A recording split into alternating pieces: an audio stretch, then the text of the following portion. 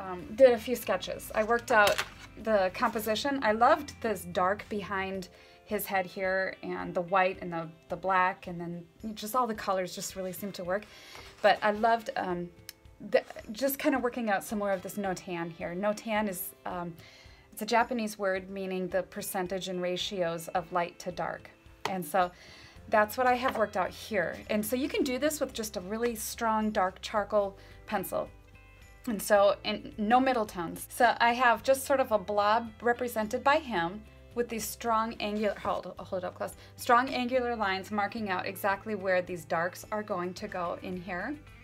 Okay, and then, um, and then just the lights. So that is what this is. So I'm keeping this right here by where I'm working.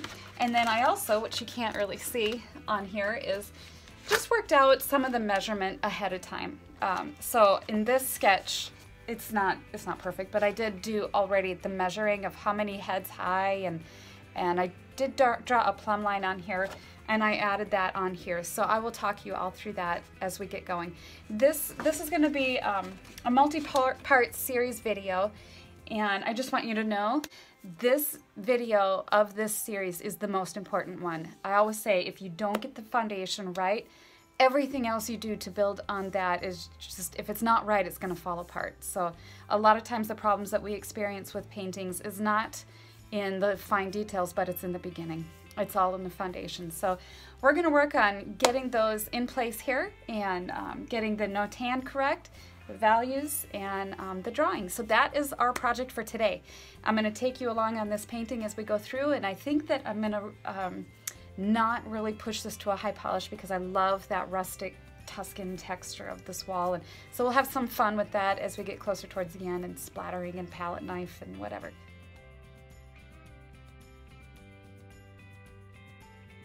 So let's jump in. Um, I have, like I said at the beginning, this is just a 16 by 20 canvas. I've already put um, a thin coat of paint on it. Oh, and another thing I'm, only, I'm gonna do with this painting is I'm only gonna use three colors plus white. I'm gonna use yellow ochre, burnt sienna, and ultramarine blue. I may incorporate a little tiny bit of other colors as we get closer to the end, but ultimately that's it for this painting. And then of course the white. Okay, so that's going to be kind of fun too. Just the earth tone primary colors. And at this stage today, I'm not going to be using any um, linseed oil.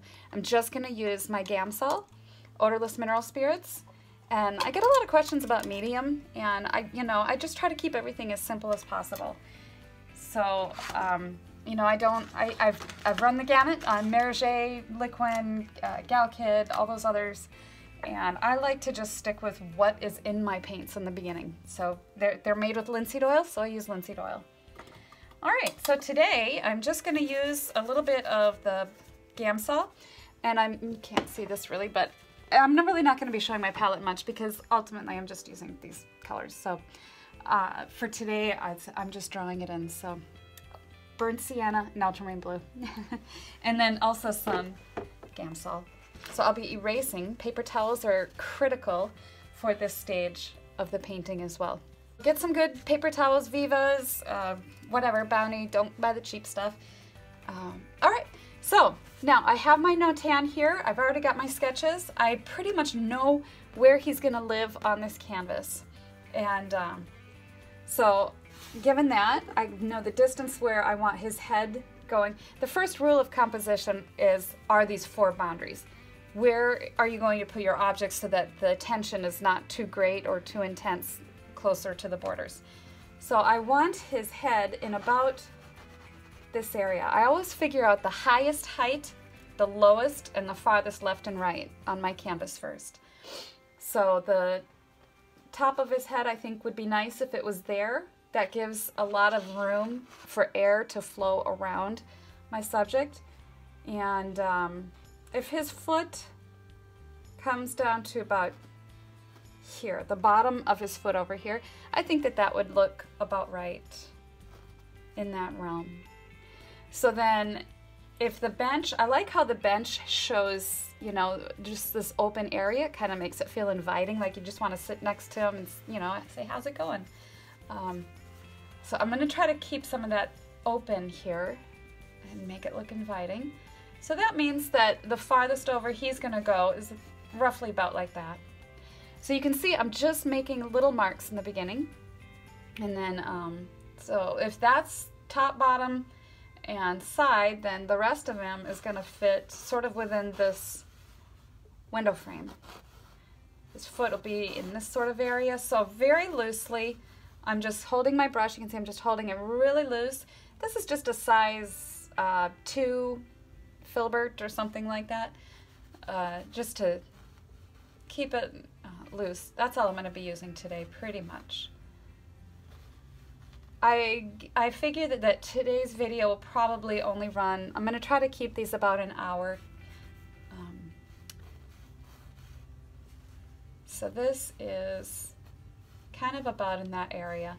That means that kind of like this bench over here and his hand will be, his hand is kind of about in the middle of the canvas, but I think I'm gonna just go with it because the real center of interest is right in his face. And I like sort of that two-thirds division. This one-third here and about two-thirds towards the top. So that's about where my center of interest is gonna sit right there. Okay, so I hope that that kind of makes sense with the composition. Now I'm gonna just sort of map in where I saw the that notan. Notan is a Japanese word and it just simply means your percent ratio of dark to light. And you want it to be a harmonious and interesting balance. And so that's what I've worked out there. And I thought that it was kind of interesting. Sort of had that yin yang, a little bit here, a little bit here, into that balance that way. So I want to be careful not to split this right in half. That still allows for all of this space to have that really interesting texture and then the window comes back here behind his back. So this is all, this will all be interesting window paints. I don't know how much of those white lines I'm gonna do in there because I think it kind of breaks up that grid. I might just subtly suggest it, but um, okay, so I like where that's going. All right, so what I'm gonna do now is on the little sketch that I'd already done, I already mapped out how many heads tall he is. So I'm gonna show you how I did that on here. On this drawing, or on, excuse me, on this photograph, I just, my brush, and I slide my thumb up and down, and I'm gonna put the tip of the brush on his chin and the tip of my thumb on the top of his hat. Okay, so that gives me the mark for one head. Okay, now I'm gonna come down and I already did this with a pencil on here, but you can do it with your brush. Um, if you have a valuable photo, just put it in a plastic sleeve. So I'm gonna mark down then the second head, and that's about where his shirt makes a crinkle fold right in there. And then, um, and then the third head down, from, I put my thumb right on the bottom of that mark there, and I go down, and it's about to his thigh there. And then I'm gonna do another head down, and I, it's about where the foot of that bench is.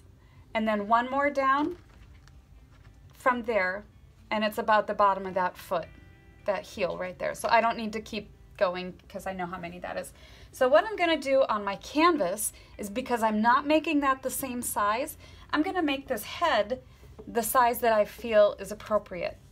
Okay, so if I decided that that's about where it's gonna be at the top, and this is the bottom, breaking it down, knowing it's gonna be about, what did I say, one, two, three, four, five heads tall, then let's just guess. Let's say I make his head that big. Okay, so do I have enough room to make it fit on here? So let's see. If I make his head that tall, that's one, two,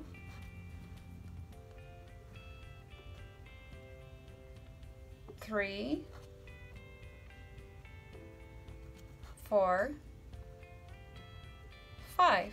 And that would mean that that's about where his heel is and the bottom of his foot's gonna be there. And I'll tell you that, that was really lucky. Sometimes it doesn't work out that smooth, but there we go. so what I'm gonna do now is because I figured out those divisions, I already have them on here, I'm gonna draw them on here. So I'm just gonna make a nice horizontal. It's important that you get it as horizontal as you can. You know, you can lock your finger on the edge of your canvas, lock it in, lock your fingers in place on your brush and just slide it across. If it's crooked, then that's going to be crooked and you're going to be off a little.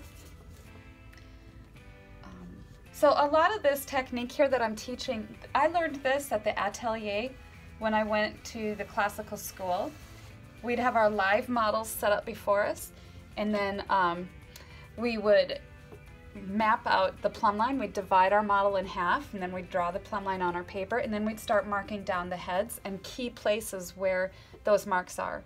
It's not really a grid because a grid is a perfect square like that window back there. Um, so you have just major divisions and I call them helper lines. You just draw them straight across. If your model was right here, you could hold your brush up and draw a line visually straight across to figure out where the head was, where the chin was, and so forth. We don't have that, so I'm just going to use that. All right. So these are my horizontal helper lines as such. And now I'm going to drop down a plumb line. I already drew a plumb line on him, and I did it right on the edge of his face and straight down because I saw that it was going to hit pretty key places, like it's very close to his heel. And if I can get the edge of his face in relation to the edge of his heel correct, a lot of these other things are going to help fall into place. So I know that I want his face in this area because I gave myself a circle. So that being the case, I'm going to give myself a plumb line on this side of my circle. And I'm going to lock my pinky on the edge of the canvas like this. And locking my fingers in place on the brush, just going to go straight down. As long as I don't wiggle all over the place. so that's how you can get a nice straight line. Okay, so there's my plumb line and there it is right there. Now it's simply a matter of kind of like grid work now, where you fill in what's in this square, what's in that square, and so forth. So, um, okay, so let's get into, what I'm gonna do now is holding my brush loosely again, just gonna go in and start figuring out if this is that where the plumb line cut his face sort of right about there. That means the chin is gonna go there, the hat about there. You can always make adjustments, but right now in the beginning, um, there I'm just sort of loosely laying things in. And that's why I love doing it with the brush instead of a pencil because it's so much easier to move around. I, I can just wipe things out, dip it in terps, wipe it off, whatever. And I did already work out some of the stuff in pencil on paper, so, you know, if you get your head in the game ahead of time, it just makes things so much easier. So I'm looking now under his chin, there is the line because that's my dividing line. And right below there, his shoulder starts about, I don't know, about that far down. You can always make adjustments later. And then, um, I'm looking on the plumb line to see where major things are interrupting that plumb line. So that's that shoulder, the far distant shoulder, and then um, what happens at this intersection? That's, I see a shirt right there coming down, his vest over here. Always looking for straight lines. Straight, angular, strong lines will give you um, a much stronger feeling to your painting, more structural. One thing you don't want to do is just start getting really swoopy, swoopy, curvy, loopy, and it just starts looking really weak. So just keep your lines straight, committed, and take your time. There's no hurry here. Like I said at the beginning, this is the most important step if you're going to follow along in this series. Phase one of every painting is the most important part. I seriously, I cannot have music that has words on. Um, it just, it, I have to have complete concentration. So forgive me if this looks loopy at some point because I'm working both left and right brain to communicate and try to get this down.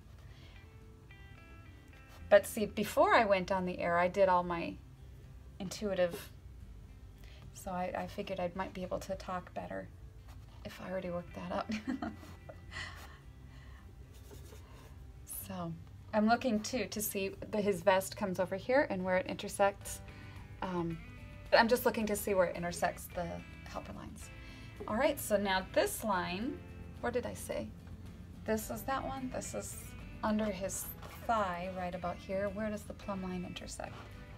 I've got about a triangle space of his leg under that, right there. So that is where that is.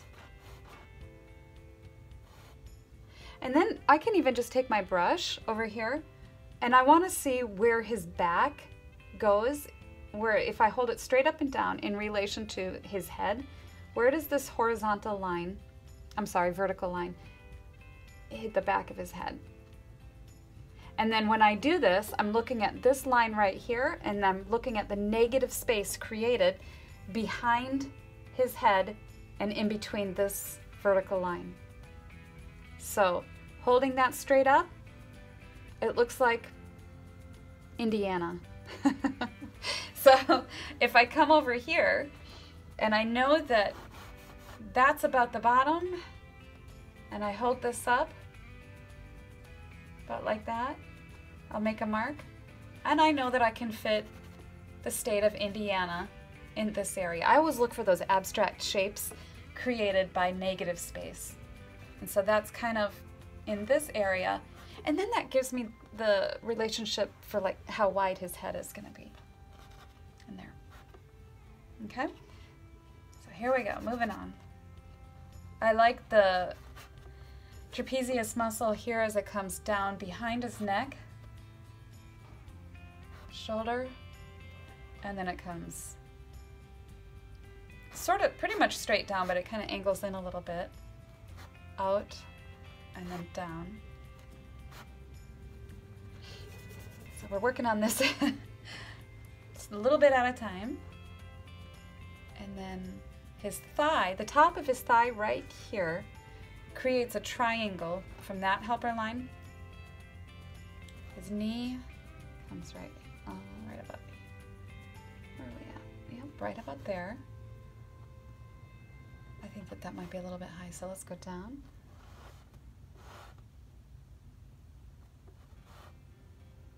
doesn't it doesn't pay to rush this time. So if you see me, I'm, I'm pausing in between brush strokes. That's what I'm doing. I'm just thinking about everywhere I want these to go. And I'm flicking my eye back and forth all the time from what I'm doing here to um, my model over there, my image.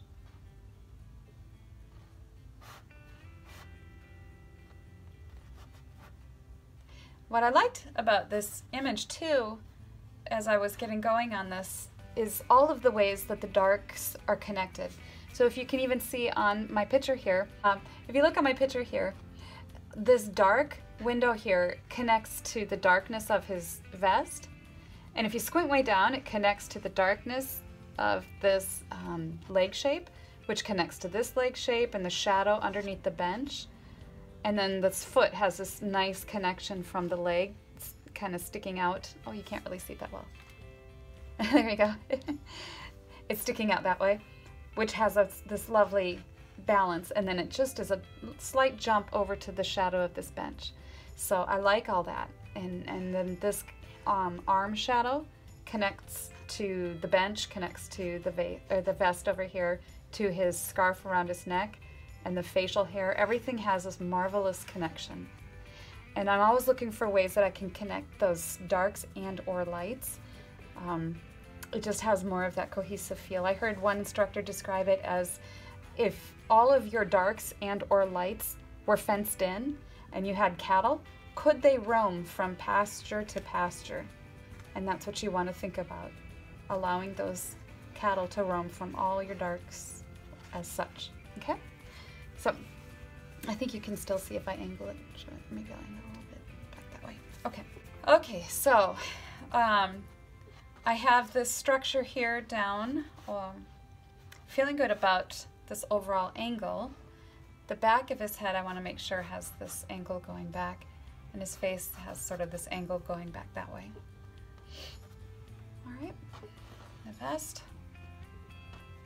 And then I'm looking at where this line hits and there's the bench in here. Um, and then right about, okay, so his scarf comes like this. Right about in this vicinity, his arm comes over. And I'm looking at his knee. And if I draw a line straight up from his knee, where does it hit that arm? It's almost in the elbow. So if I determined that his knee was here, then his elbow is right about above it. But I need to check that distance. So what I can do, what I can do is since I've decided that my head is what I call truth, um, everything else is going to hinge on that as my center relationship. So if this is this distance on here, then how far over, how many heads over is that arm going out? So I'm going to come over here and get this measurement that I have accepted on my painting. So there it is. Coming over here, how many heads over, it's hard to do this, how many heads over is that hand going out? So there's one about where that brick is and about one and a woo, one and a half. Sky's falling. um, okay, so it's about one and a half. So let's do that over here. So here's my head. And then the hand come the arm is one and a half. So there's one. Just make a mark with my brush. And that's two. So his hand is going to be about at the halfway mark. Okay? So we'll just kind of suggest where that's going to live on there and the hand will be in there. And that is all for now. I don't need to get into a lot of detail with that.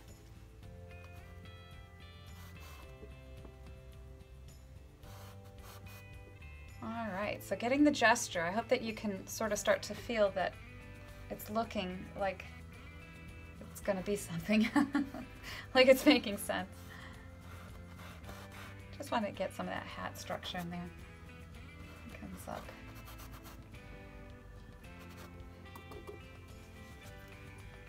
And you can clean your brush off in the Gamsol and just kind of wipe it down. That just, I just needed that little bit of a light up there on his hat just to help me with that. anyway, all right, so um, Feeling good about the rest of this. His vest comes down like this. Once I get the drawing pretty much in place, then I start in on um, getting more of the values accurate.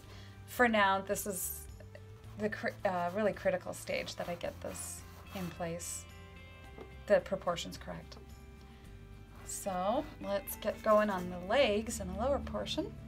Um, I thought I figured out how many heads over. Okay, so I, apparently I didn't. What you can do is take your head, because that's our truth, and I'm gonna go from the plumb line measuring out how many heads over the tip of that foot is. Okay, so coming over here, here's my head. Going back to that measurement, that's truth, right? Coming over here to the plumb line, and I'll just go, I'm gonna go right to this intersection where the helper line meets the plumb line. So there's one, two, about two and a quarter, two and a half. Okay, so here's my head. And I was gonna go right to this intersection on here. So there's one, two, and it was about a two and a quarter. All right, so that's the framework of where that foot is gonna, foot and leg is gonna fit in.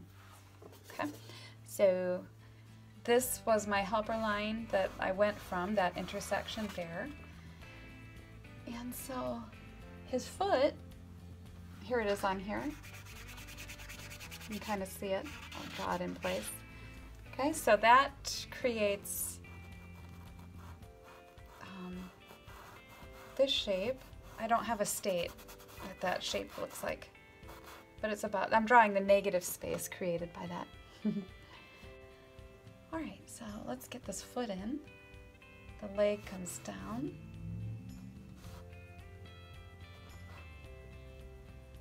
His knee, looking at this knee on the bottom leg, it's almost directly below his hand. So his hand is, we determined, is about there. So the other knee will be about like that. And then um, this comes back under that leg there. This creates a triangle. And then the bottom part of the knee underneath is just about that way.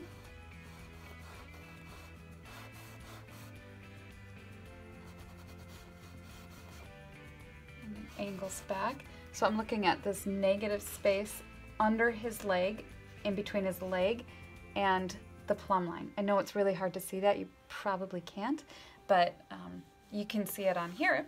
So there's the plumb line, and then this negative shape comes back like that. And his foot angles downward, just like that. And I'm gonna draw a line straight up from this toe to see where it hits his knee, okay? So here's his knee, and drawing my brush straight up, that's about where the tip of his foot is gonna be. All right. So that comes that. Let's put that back under there.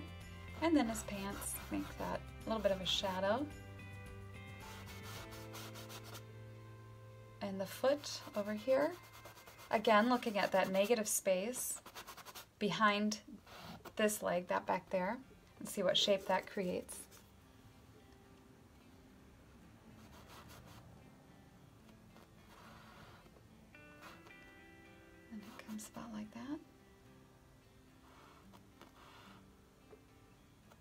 The, I love the shape of this foot. It, it has this wonderful angle up and then an angle back this way.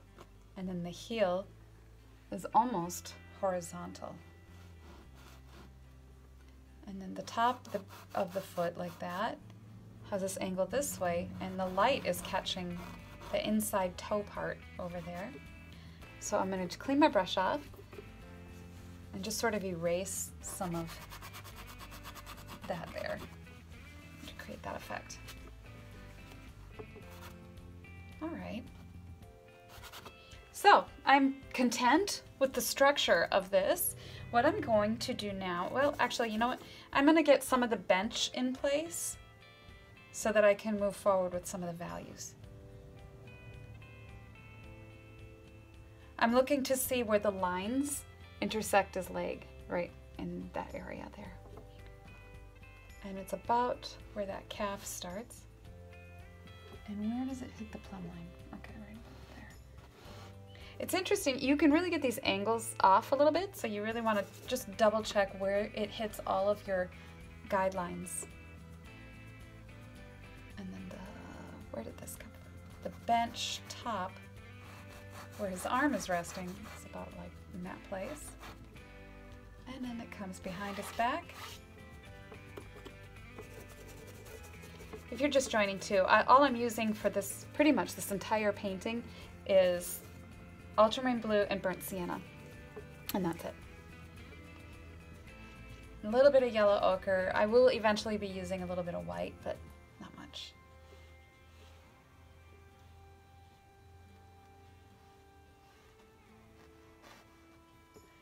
Uh, let's just, gonna give this whole area a mass.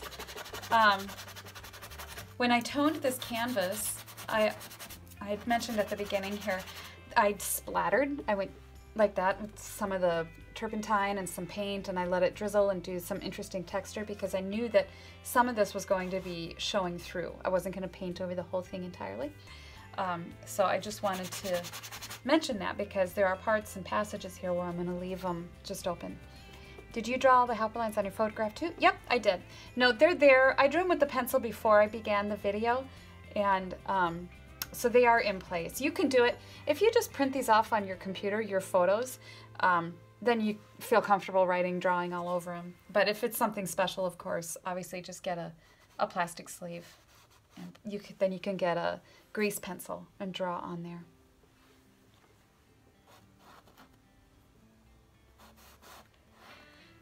Okay. All right, I'm going to switch to a little bit bigger brush. This is a size, um, well, it's a size five flat. And I'm gonna go in now and start mapping in some of these larger pieces of notan, as I had mentioned at the beginning. I'm not gonna go that black dark, but I am going to map out exactly where I want those darker passages. Um, maybe I'll just set it there. Think, yeah, you can still see it. All right.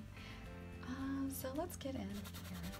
I don't feel that it's necessary at this point to really get fussy about his face and um, some of that information there because right now there's so many more, so much more essential information that I need to get in place than the funny little details of the angles and all that, which I already worked that out on my drawing up here.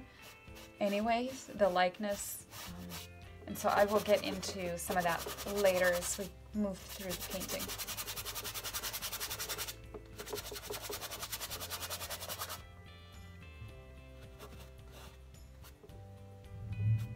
And then I'm gonna just soften this edge on this side of his face a little bit too. Because I really like how that frame of that window behind him just really sets his face off. And that's just it was kind of just a lucky shot. we, we were in Tuscany, and um, this is Daniel Hill. He'd sat down on this bench, and seriously, he did not pose. It was just all natural, and so I grabbed the shot. and It looked really great. So, and then in June, we're excited to go back again. This time we'll be co-teaching. Daniel is extremely talented with all kinds of things portraits, um, landscapes, architecture, buildings. And, um, so, and he's just really good with people. I, a lot of you have um, been calling uh, us Renaissance Creative Arts and have had the opportunity to speak with some of us, Dan or I. And so we're happy to talk and help people. And um, so anyway, um, what I'm going to do now is I'm kind of just content with where that is. I'm going to go through here now and just with um, paper towel in hand, wiping off my brush, just going to go in and lift out or lay down a thin value where I see a little bit darker tone. I'm squinting at the painting. Let's get that vest nice and dark. Not too dark though, I don't want to completely lose the structure. But again, I'm thinking about connecting all of my darks in here. So this has this strong shape. And in fact, it's lighter behind him. So I just don't want to lose that structure that I worked hard to get. So I'm wiping some of that up Let's just not go nuts there. so, um, the vest comes down like this. Oops, that's brown. I don't want brown. Strong color. And that's ultramarine blue. All right, and then I'm gonna, maybe I'll just grab a little bit of yellow ochre into this and start glazing or scumbling on loosely where some of these shadows are on his legs. Like this. So if you'd like more information on our workshop in Tuscany, you can go to Tuscany in the Frame. I know that there are still spots available, and so we're very excited about that. And um, if you're not sure or you feel that you know maybe you're not ready to take a workshop like that we have a lot of videos well we have a number of videos and the one we just released on painting the portrait is a really really great one to start with it's um, I go into all of this kind of measuring and things like that to help you out at renaissancecreativearts.com And I, you know, between Dan and I, we like to help people as much as possible. So we, we will meet you wherever you are. These classes are not just for advanced, you know, come as you are.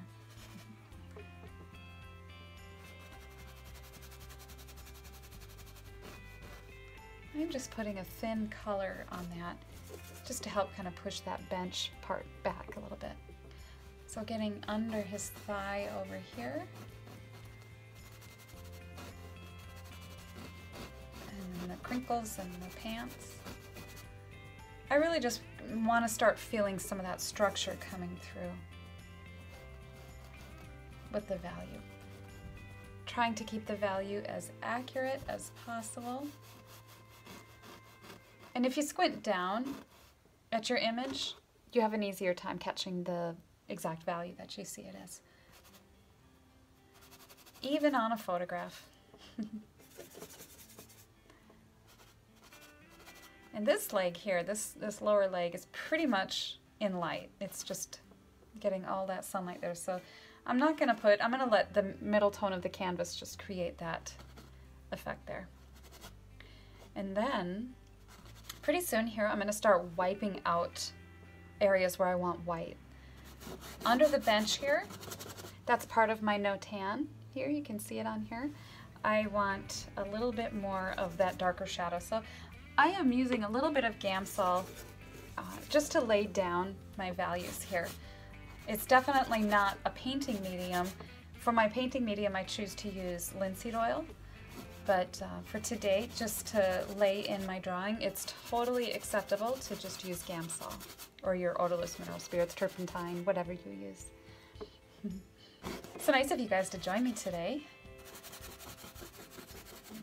I know it's, uh, well, I don't know, some parts of the country it's kind of cold and yucky. Value on here.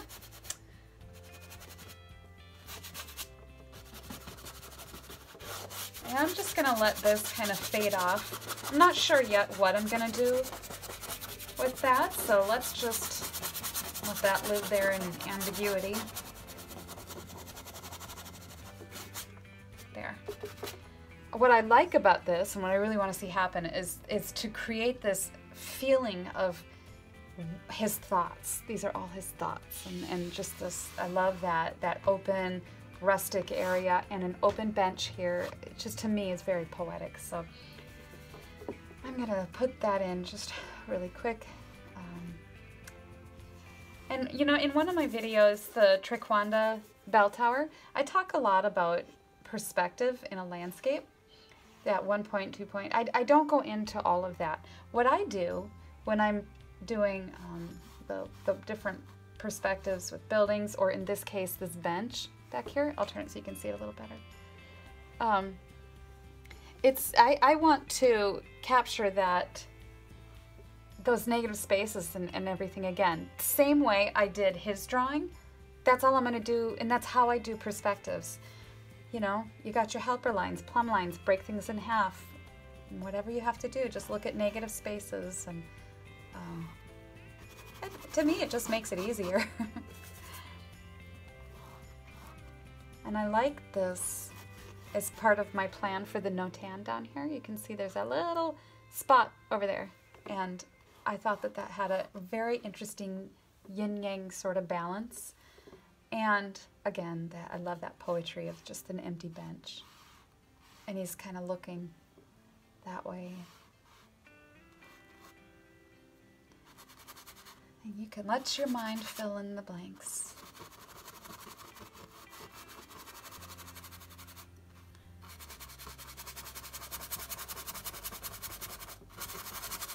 So that is the value for that. I didn't want to, I don't want to get too fussy into working on that, just, just to suggest for now. I'll get back into more of that later, but you get the idea of where I'm going with that passage over there. Okay. And I'm looking, I'm looking at these bricks over here on this paint, this photograph, and I'm thinking about um, Vermeer and some of those old brick buildings that he's done. And I kind of want to try to get that. Yeah, this is gonna be a fun one. And like I said at the beginning, this is the most important phase of this entire painting. So um, it's gonna be, this is gonna be a great series. And I haven't done a series in a long time. So I'm excited to start a new one. And um, so that is, that's sufficient for as far as I'm concerned with that. What I like about this is that this leg of this bench is brighter than this leg. And you can see that over here too.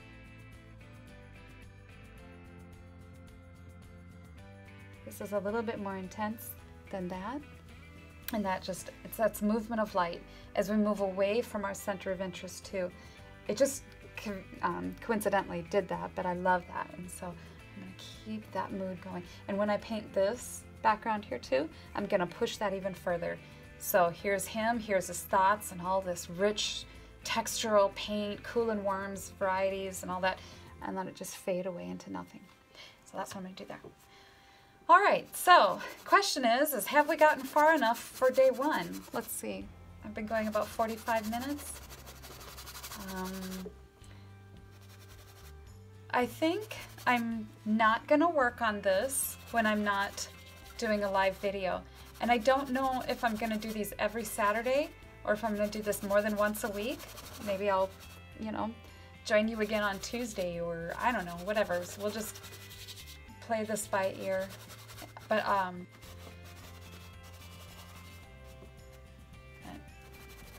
so I'm just going through here. Oh, one thing I was gonna do before I forget, clean my brush off.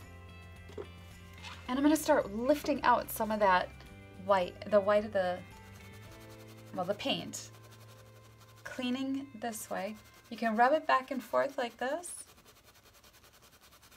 to show more of the white of the canvas. I'm just gonna take my paper towel, roll it up like this, nice and tight, and wipe out where I want the white to show through. I think I'll get a smaller brush that I can control it a little better. Okay, so his arm has a nice highlight on it. Cleaning that off. This is, to me, this is where it really starts to come alive because you can start to see where the three va distinct values. We already have our medium, we've been laying down the dark, and now we're gonna play with the light. I can't wait to get that hand too, it's just so beautiful. Dan has these fabulous hands.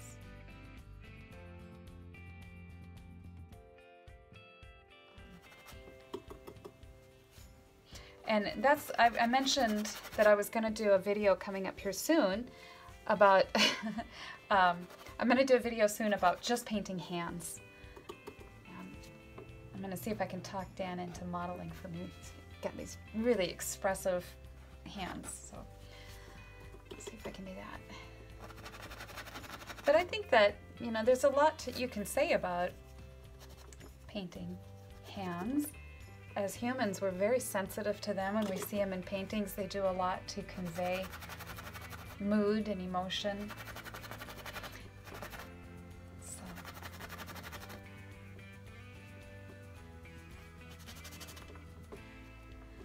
Going to be really tempting to work on this during the our time off. So I may uh, I may not be able to handle it, and I'll have to come on more than once a week. Because you know, I just I can't handle seeing it in a rough state.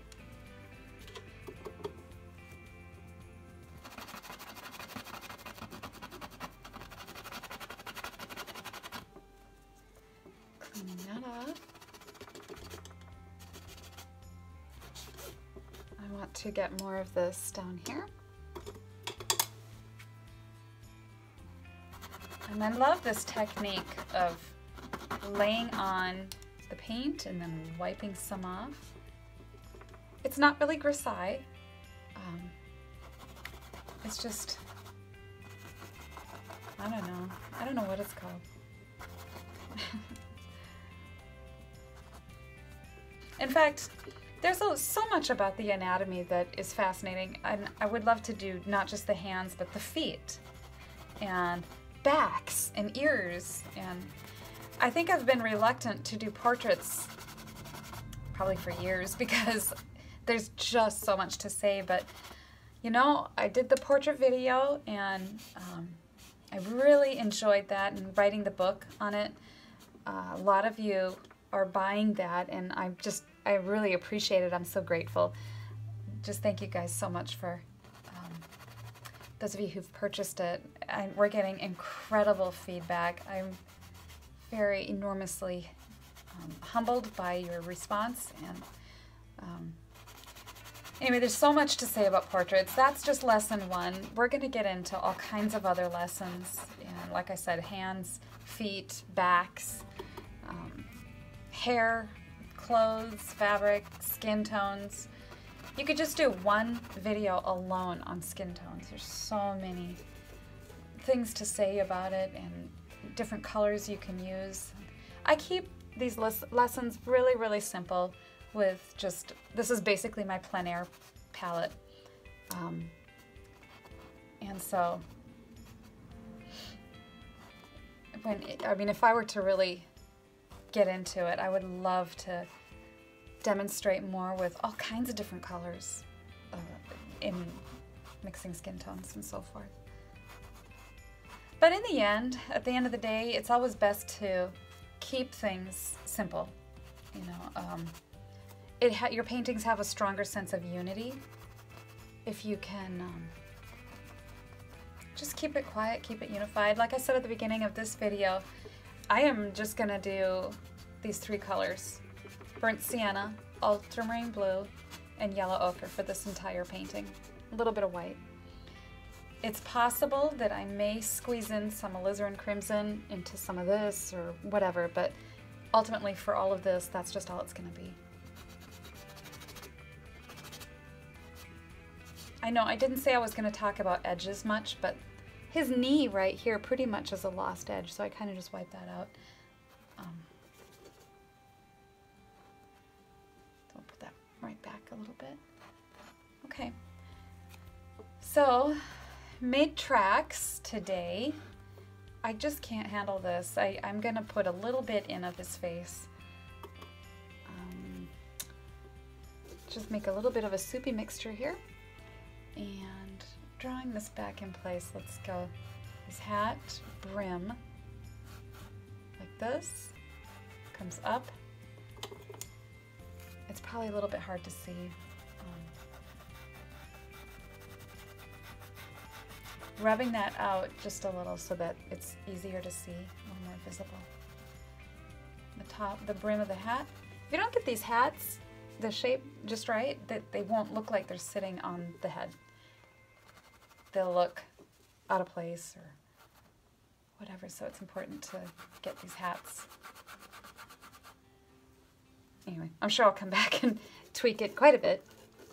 Um, I want to get the value here in place.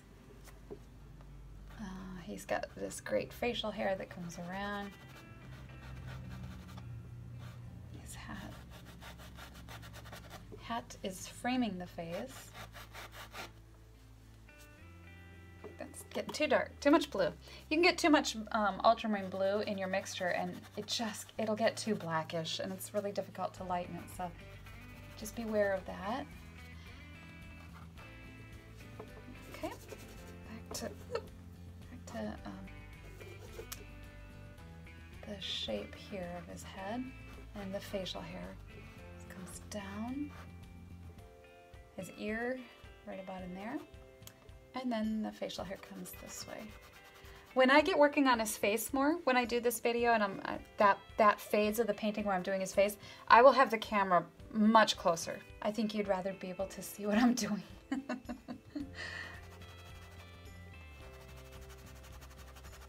so that works for that. And then his whole eye passage is in shadow. And then his nose Let's just get that in place.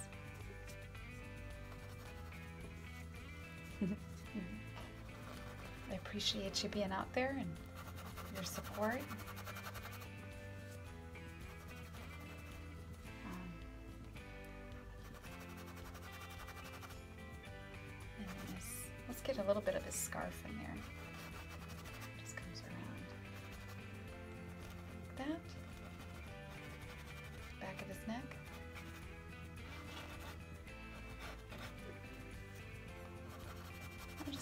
That side of the face altogether. Well, that's sufficient for now. Um, I and let's get a little bit of his hand in place too.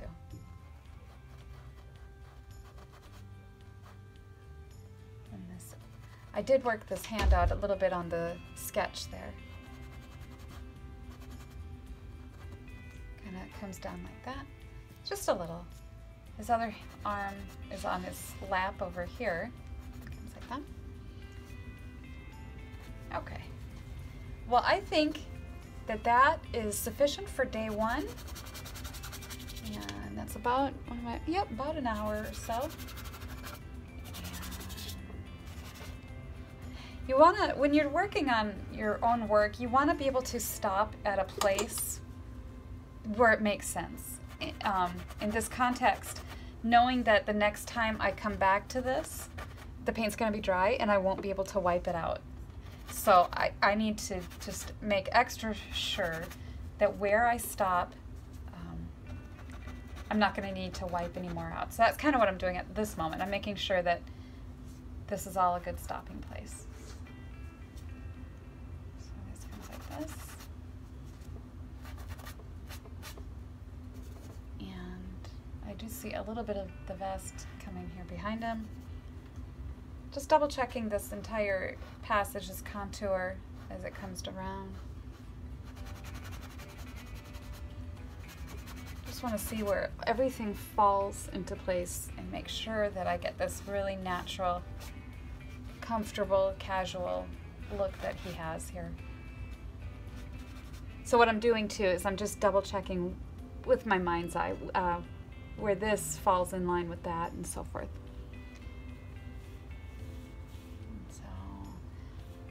Anyway, what you'll get to see is, is all the different corrections and things that I fix along the way and how one goes about doing that. So we're going to cover a lot of this, this stuff when we're in Tuscany too. Um, just working out the figure in the landscape. So if you're interested in more information on that, we will be posting more on our website, but um, Raphael with uh, Tuscany in the frame. We'll have more on that too. All right. All right, well that wraps it up. I wanted to thank you for joining me for part one of painting the figure. Um, this is going to be a really interesting series. I'll have a, a, quite a few videos in this set. Um, if you liked what you saw, go ahead and like and subscribe and click the little uh, picture of me down below and hit subscribe.